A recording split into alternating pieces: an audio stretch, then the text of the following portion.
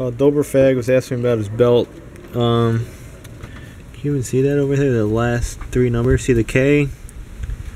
06 means six ribs. 956 is the size. So if his old belt, you can still read it. Just match up what the old belt is and look for the listing of the new because there could be a different alternator on it or other things. There's like five different belts for these Chevy trucks, even old or new. Bunch of them. Oh, I hate when I do that. Oh, I gotta go crawl underneath and get that one now. Blower man.